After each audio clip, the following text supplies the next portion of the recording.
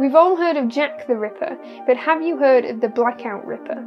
Cummins was found guilty of a murder spree using the blackouts to commit crimes and move under the cover of darkness.